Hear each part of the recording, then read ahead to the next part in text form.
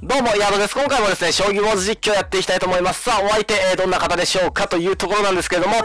さあ、お相手1級の方ですね、試験飛車がお得意の方で、えー、振り飛車党の方ですね、2021年振り飛車、えー、まあ、居飛車振り飛車合戦みたいなものが多分、将棋ウォーズで企画されていて、私もあんま詳しくないんですけど、まあ、あの、それの振り飛車、えー、の、えー、側で、スプラトゥーンみたいなもんですよね。多分色分けされて、あの、どっちが強いかみたいなことを多分勝負するみたいな、なんかそういうやつだったんだと思うんですけど、僕ちょっと参加したことがないんで全く分かってないんですが、えー、ちょっとやっていきたいと思います。で、えっ、ー、と、まあ、当然ですね、あの、振り飛車、えー、試験飛車でお相手は来ているということなので、まあ、ここで、えっ、ー、と、ちょっとですね、まあ、棒銀、え、決めていきたいなというふうに思います。棒銀、加藤ひみ先生のですね、アバターじゃなかった、えー、エフェクトですね、エフェクトがしっかり出て、えー、嬉しいですね。加藤ひみ先生のご尊顔を拝むことができて、えー、とても今日も、えー、幸せな、えー、一日が、えー、始まって終わっていくわけですけれども、まあ、ここからですね、こっから王様寄っておいて、で、えー、っと、まあ、棒銀、棒銀町に行きたいなというところなので、えー、っと、そうですね。まあ、この歩を相手がどう処理してくるのかっていうので、ちょっと先が、このみ、この先の未来が占われるというところなんですけども、さあ結構考えてますね。この時点で時間が30秒、えー、時間の差がついています。30秒差はめちゃくちゃでかい。これは、この30秒という時間を大切にですね、使っていきたいなというふうに思わざるを得ないんですけれども、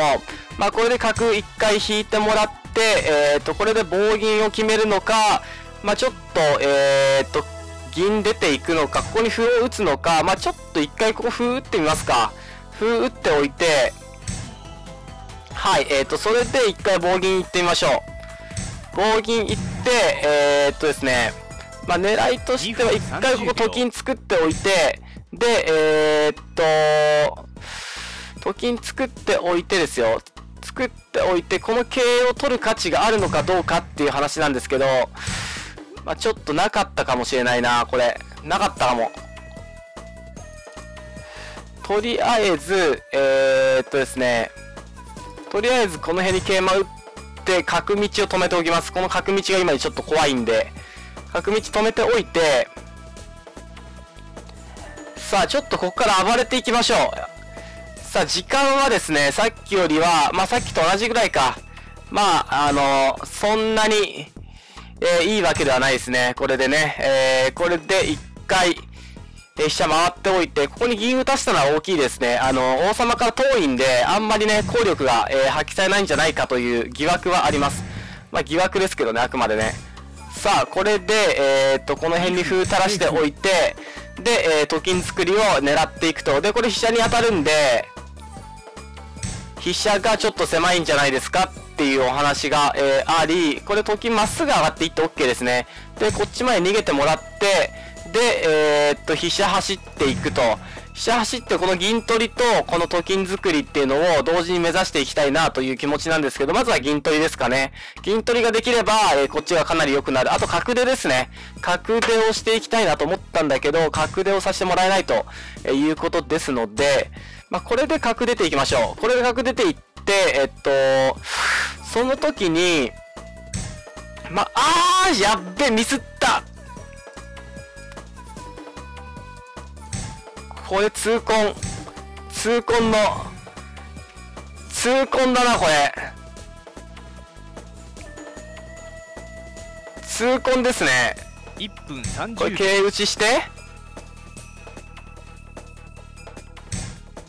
でえー、っとこれでえー、と金作っていってでもこれは桂馬効いてるからね桂馬効いてるからほぼただよほぼただ、ほぼただ飛車いただきだったんで 日本語下手か ほぼただ飛車いただきだったんで、あの、OK ですね、これで。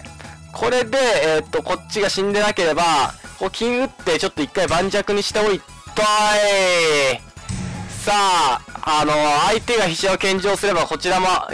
相手に飛車を献上してしまうというですね、あの、全く意味のない、全く意味のない、あの、試合を繰り広げてしまっているんですけども、一応これが詰めろです。これで、と銀よ、トントン、トントンって寄っていけば、えー、勝ちなんで、まあ、馬で取らざるを得ないと、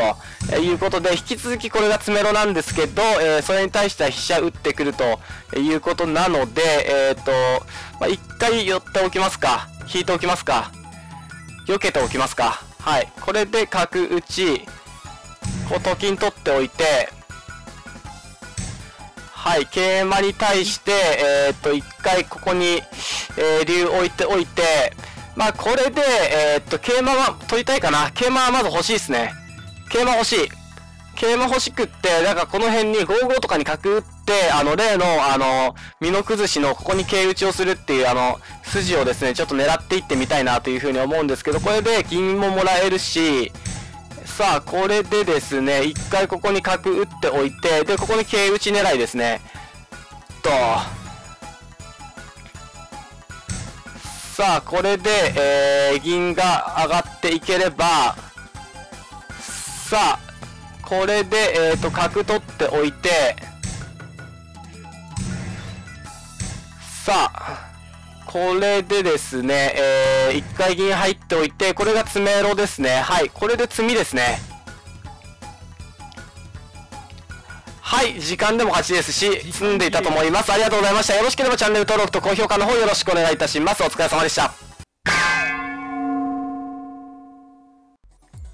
どうも、ヤドです。今回もですね、将棋ウォーズ実況やっていきたいと思います。さあ、お相手どんな方でしょうか？えー、初段の方ですね、57金戦法がお得意の方ということでやっていきたいと思います。さあ、57金戦法ってどうだ、どうなんだっけ？ちょっと、ちょっと勉強不足で、あの、今度調べておきますが、えっ、ー、と、57金戦法がお得意の方ということですね。さあ、えー、お相手、えー、棒銀で、えー、来て、えー、来そうな雰囲気、えー、を醸し出しているので、一応棒銀用の受けをちょっと、えー、しておくんですけど、桂馬跳ねてくるっていうですね、一番僕が苦手な、苦手とするパターンですね、これね。序盤で桂馬跳ねてくるのがですね、結構ですね、難しいんですよね。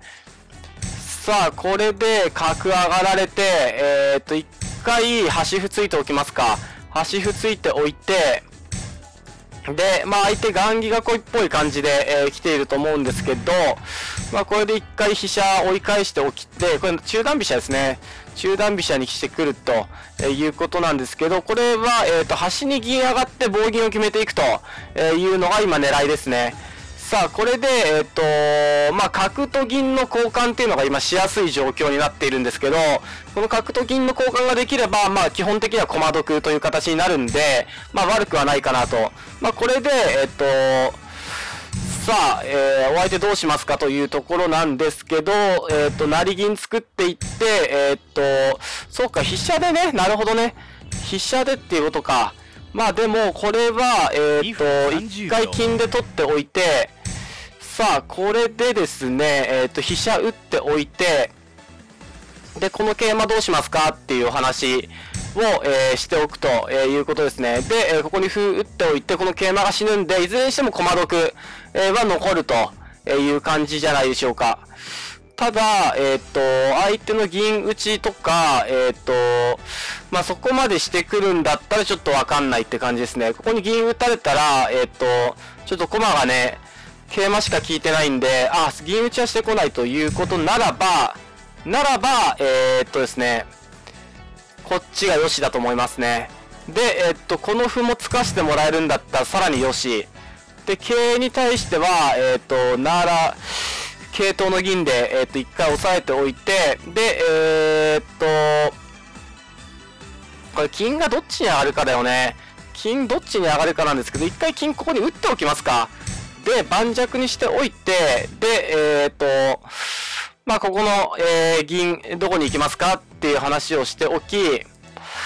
さあ、これで、えー、っと、そうですね、そうですね、ちょっとわかんないなわかんないっすね、これね。一回飛車浮いて、この、と金を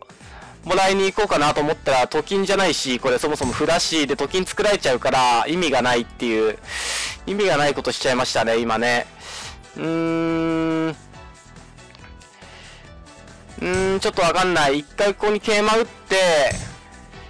さあ、これで、えっ、ー、と、この桂馬取っていって、っていってですね、で、銀上がっていって、さあ、さらに上がっていってですね、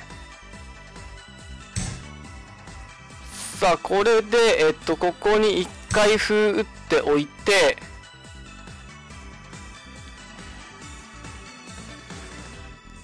さあ、ここでと金一回作るじゃないですか。と金作るじゃないですか。で、えっと、ここに銀なりしておいて、で、えっと、そっからちょっとどう勝負していくか。時間分かってる。時間分かってるから、こっから変に潰されなければ、